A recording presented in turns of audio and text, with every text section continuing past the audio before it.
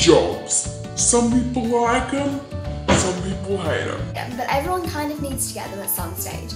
And I've just recently got my first job and I'm hoping I can help some of you guys to get yours. Also, by the way, happy Easter guys. It is Easter Sunday right now. It probably is Easter Monday or, you know, in the future when you guys are watching it. So how's the future going? And um, yeah, I'll just get on to the video now. Enough talking. Tip number one is about your resumes because if you've never had a job before, then you probably don't have much you can put on your resume, right? Wrong. If you've done any volunteering or you've been in any sort of leadership position at school or outside of school, you need to put that down there because it shows that you actually can do stuff. Also, you need to put down your leading personality traits. If you think that you're very independent, you're very self-motivated, you need to put those down. They're keywords that people reading your resume are going to pick up on. Not so much your resume, but because that's more your list of achievements, but definitely in your cover letter. So I just mentioned a cover letter. What exactly is a cover letter and like what's it different to a resume? So a resume is more a list of achievements or positions you've been in, places you've worked at, whereas a cover letter is like a direct letter to the person you're employing, you're trying to get employed by, and you want to try and write it to a certain name. Like you want to find out who the manager is or who the employment officer is, whoever. You want to um, try to put it to a certain person. Otherwise, you can just do to whom it may concern or to the company you want to work at. And then you want to make like kind of almost a personal, you know, I think I'd be good for this job. I came across this job when, you know, my leading traits are I've been in these types of jobs before. You don't need to go into too much detail. And also right at the end, you need to do a call to action. You need to say, if you would be interested in employing me, don't hesitate to ask for an interview or a trial shift, and um, I will happily, you know, help you figure out if I'm the right person for the job. Stuff like that. You need to have a cover letter because most places won't even look at your resume if you don't have a cover letter. Oh wait, two very important things about cover letters and resumes.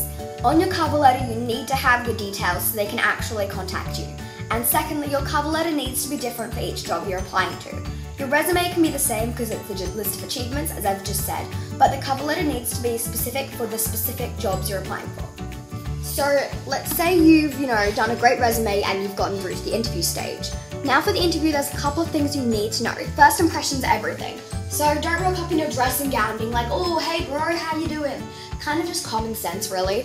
So you want to dress well, you need to definitely have your hair nice and tied back.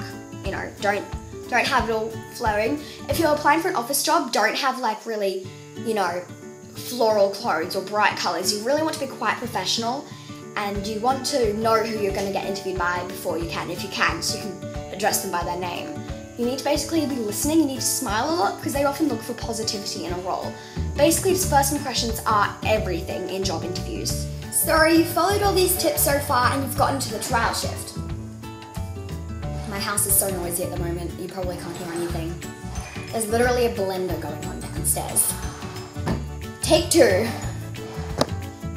Alright, so you've gotten to the trial shift. Now this is the day they call you in to do a day of work or maybe a shift or something and um, they're not going to pay you, but they're going to look not so much at your skills because they always know they can build on your skills, but they're going to look at your attitude. They're going to look at how productive you are, proactive. They're going to look at whether you're just standing around doing nothing or waiting to be asked what to do, or if you're looking for things to do, you're wiping down counters, you're pushing in chairs, you're tidying things. I don't know. Basically, my main tip for the trial shift, if you get there, is you need to be proactive. You just need to look busy. Even if there's nothing to do, it's super quiet, everything's clean, just wipe down a counter, push in a chair, ask a customer if they need anything. Just look like you're busy and then you'll get the job, I think. And another thing is you need to be super respectful and try to be quite quiet as well. Like, don't make a big statement of yourself being like, all right, who wants drinks on the house? Definitely never do that. Um, but otherwise, I think you've gotten all the tips to get your first job, and I hope you guys have good luck if you're getting your own jobs. And wow.